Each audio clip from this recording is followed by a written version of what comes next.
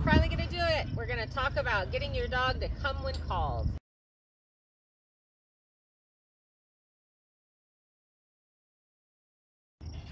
Okay, some really important things that you need is a snack that your dog loves, like his most favorite treat. Um, and you want them to be soft. You don't want crunchy treats, you want super soft treats.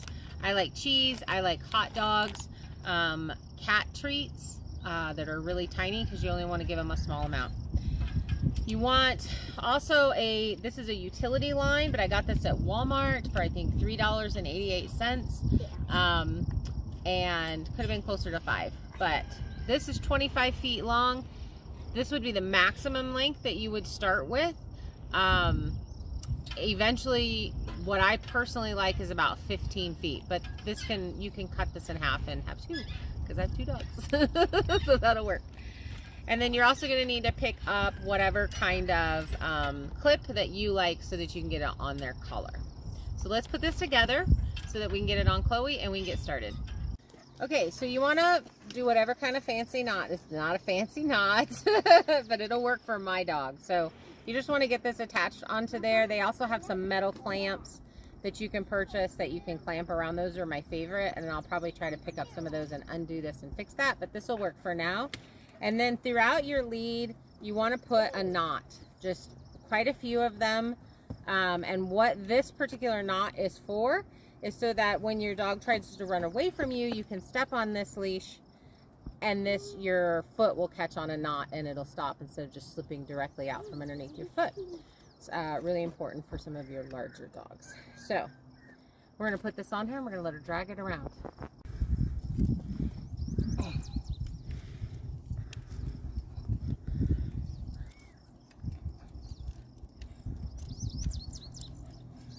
Okay, so now what you're gonna do is you're actually just gonna drop this leash, let her drag it around, and when she gets almost to the end of it, I want you to do something to get her attention. So I'm gonna go ahead and hold the very end of it. She's really excited to be let loose.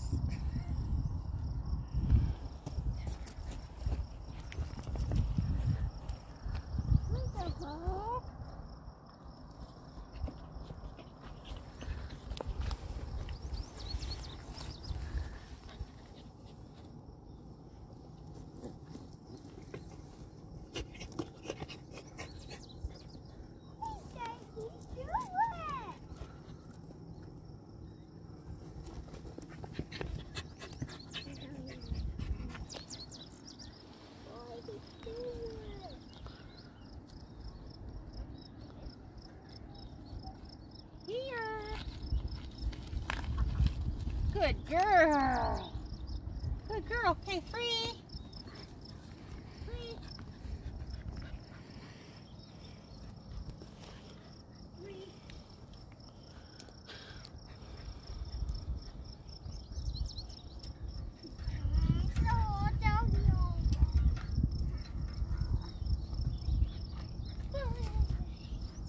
Can't get her to ignore me now.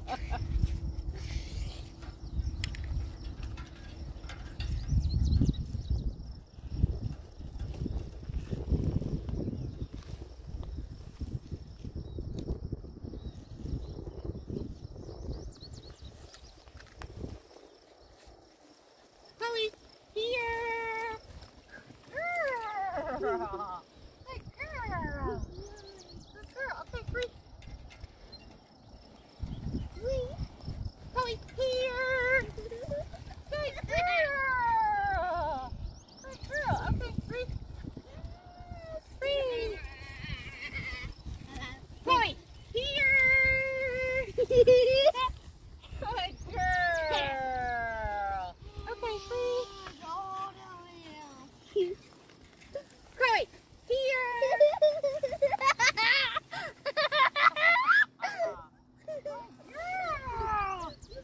Good girl.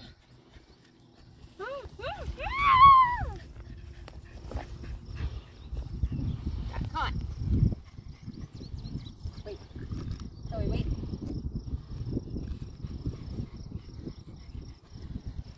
Okay, so what you're wanting to do is get your dog to basically ignore you, say their name as soon as they look at you, you give your recall command.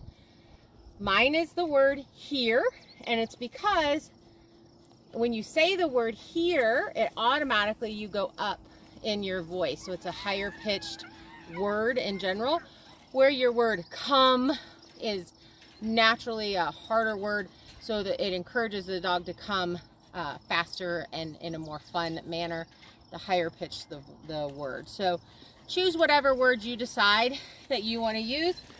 I've had a client use the word kitty kitty. So whatever works for you, unless you're going to be showing an AKC and then you have to use the word um, come or here are appropriate words.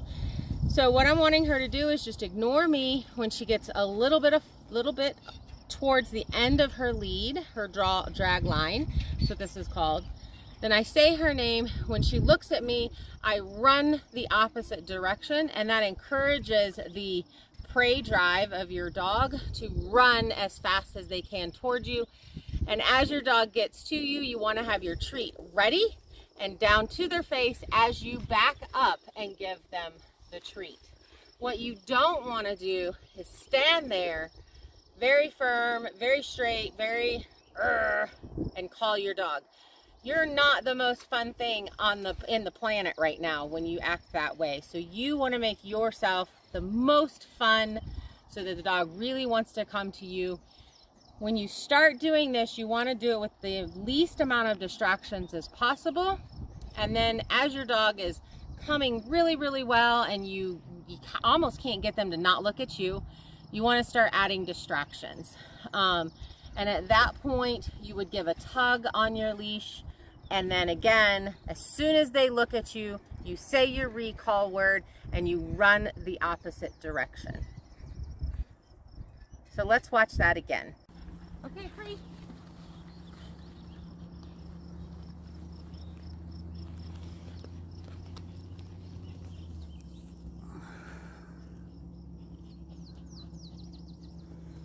I'm going to ignore my dog until she starts ignoring me.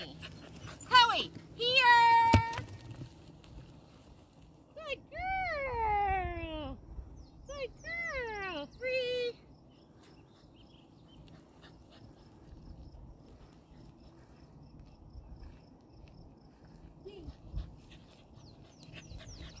Chloe, here! Good girl! Good girl!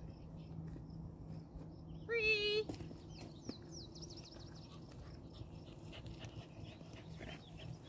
Chloe, here!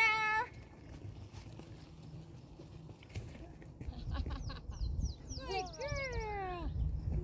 Good girl! Good girl! I like to teach a release word. My word is free. It's not a word that I use in my regular vocabulary. Um, the word okay uh, is also one that people use, but I actually use that word in my regular vocabulary. And you don't want to use a word that you say normally because if you have your dog on a downstay or something like that and you're talking to somebody on the phone and you go, uh-huh, okay, you're going to release your dog not meaning to. So I'm out of breath because of the hill and I'm out of shape. but she loves this game. Um, this is a game that you can do at your dog parks or with other dogs around. Um, unless you have a dog that has some food aggression, you probably wouldn't want to do that, but you could do it with a toy. So if you have a toy motivated dog, you do the same thing with the toy. They get the toy, they get to play, they get to tug when they get to you. Um, that is basically how you're going to do it. If you have a puppy that's never done this before, um, you're going to do the same thing. You're just going to use a lighter lead because they're not going to be able to pull something that's this big and chunky or they can just drag their leash um, and they're not going to get too far from you because there's this fear starter response of being abandoned by the pack. So if you call your dog and take off running in the opposite direction, the puppy will automatically go, ah! But if you get too far from them, they'll just hunker down. So, so you have to find that balance with your dog. But this will teach a good recall. And in our next recall um, lesson, we'll be doing it with distractions. So go get started work with your dog. Do this as many times until you can't get them to not look at you. Happy training.